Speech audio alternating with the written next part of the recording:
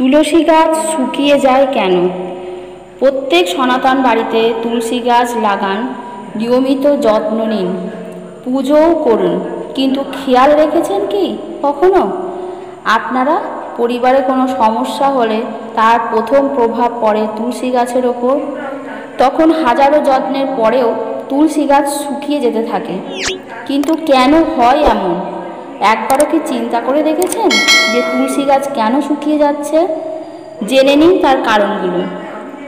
পুরাণে বা শাস্ত্রমতে তুলসী দেবী লক্ষ্মীর প্রতীক আর অশান্তি দারিদ্র্যর মতো সমস্যা যে পরিবারে হয়ে থাকে সেই বাড়িতে লক্ষ্মী থাকে না। প্রতীক হিসেবে সবার আগে তুলসী গাছ নষ্ট হয়ে যায়। জ্যোতিষশাস্ত্র মতে তুলসী গাছ শুকিয়ে যাওয়ার আগে একটি কারণ হলো বুধ গ্রহ। বুধ গ্রহের রং হলো সবুজ এবং সমস্ত তুলসী গাছ এই গ্রহের কারক।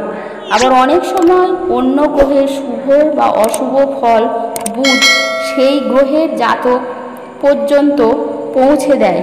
এছাড়া যে কোনো অশুভ প্রভাব সবার আগে বুধ গ্রহ আর তার কারকের ওপর পড়ে। সেই অনুসারে তুলসী গাছ শুকিয়ে যায়।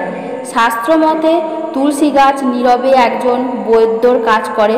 ডাক্তারবাবু যেমন চিকিৎসা করে, আমাদের নিরোগ রাখেন। তুলসী গাছও তেমনি নেগেটিভ এনার্জি সরিয়ে ঘরে পজিটিভ এনার্জি আনতে সাহায্য করে।